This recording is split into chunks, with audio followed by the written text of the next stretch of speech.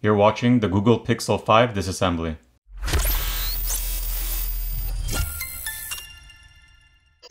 So here we got the phone. Brand new. Let's see if this one has that gap issue people are experiencing.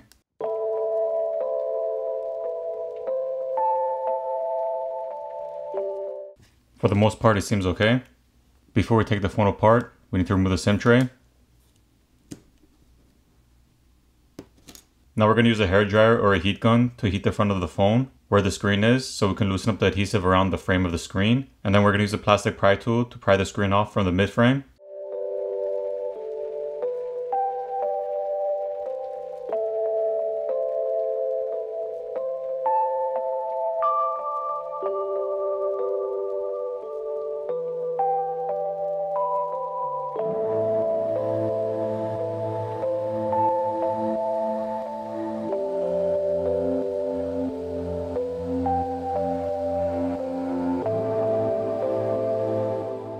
Alright, so trying to pry the screen assembly from the mid frame wasn't all that easy. Aside from the adhesive, there are some catches around the screen which you need to work around and try to pop them off. Once you're finally able to pry the screen off from the frame, you're going to lift it up from the right to the left.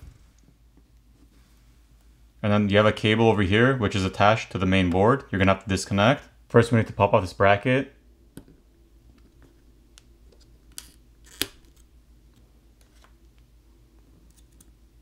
And then we can go ahead and disconnect the cable.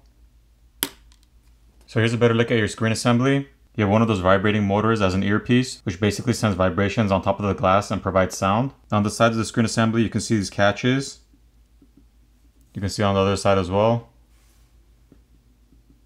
So I'm pretty surprised that these start lifting up for some people off the frame because it has a lot of adhesive as well as the catches that go around. So the only thing I can think of is when it heats up a little bit or the phone is in use, the adhesive becomes loose and pries off just a little bit, but I really don't think it's going to fall off or completely come off because it's pretty difficult taking it apart myself. So maybe the type of adhesive they used doesn't work well with the screen plastic and the frame of the phone. Or when they're assembling the phone, they didn't press down firmly so the adhesive would adhere to the frame. So even if the screen is lifted up a little bit, the seal isn't compromised. So you don't really have to worry about water and dust getting in. Because the adhesive around it flexes a little bit and it's sticky and it takes some time trying to pry it off. Back to the phone itself, we have a large strip of graphite film over here sitting on top of the battery, as well as the cameras over here, and little portion over here on top of this metal plate. We're gonna go ahead and peel off this graphite film. There are nine T3 screws or Torx screws which need to be removed. Once those nine screws are removed, you have two more over here by the charger port covered by this tape which you need to peel off. Once all 11 screws are removed, we can go ahead and lift up this cover over here on the charger port. And then we're going to remove this metal plate that's covering the motherboard. On the back of this metal plate, we have the vibrator motor over here. We also have a thermal pad over here, which sits on top of the processor. Let's go ahead and disconnect the battery cable. And then we'll go ahead and disconnect the rest of the cables once that's disconnected.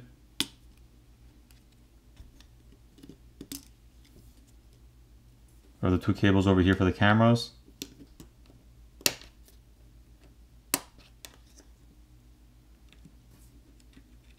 Up and remove the cameras. Here's a better look at those two cameras.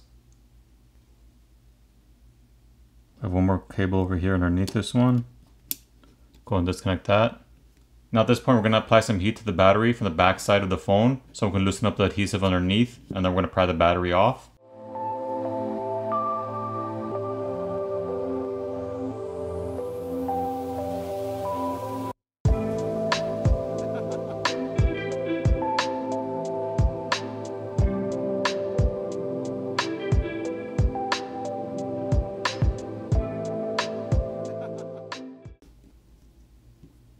So here's a better look at your battery. And here's the other side. Once the battery is removed, you can see there's more graphite film underneath to help transfer heat. You have a fingerprint reader located over here, and the same flex cable that goes for that goes for your volume key and your power button over here.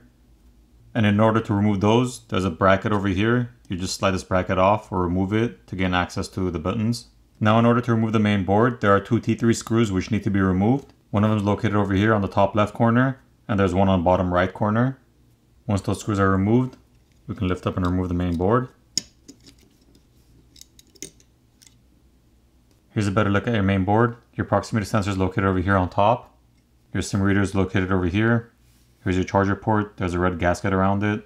Your primary microphone is located over here. It's this gold square piece. And here's the back side of the main board. Your front facing camera is located on top corner. The connector, you just have to just pop it off. And remove it. Once the main board is removed, you can see there's more graphite film underneath. Your loudspeaker is located over here on the bottom right hand corner. In order to pry that off, just have to lift up and push away from the frame.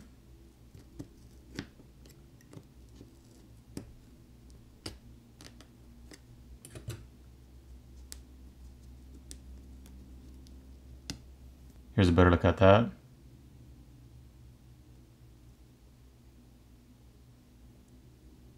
You have two 5G millimeter wave antennas. You have one on this corner over here, and the flex cable for that is this. And you have one over here on top, and the flex cable is this long one right here. You also have two more microphones, which aren't the primary microphone. Located on top, you have one over here on top of the cameras, and you have one located over here on top of the frame over here. And the flex cable over here with the four gold contacts is for your wireless charging pad, which is underneath the graphite film. You can see the shape of it. Alright, now I'm going to go ahead and put the phone back together.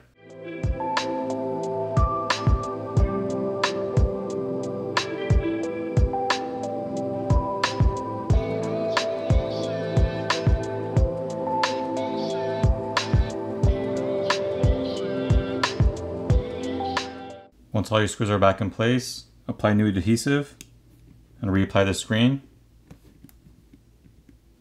Go ahead and power on the phone. And you're done. I hope you guys enjoyed this video. And if you guys want to see more videos like this, make sure you subscribe and click on the notification bell so you'll be notified the next time I upload a video. Thanks again for watching guys, and I'll see you guys in the next video.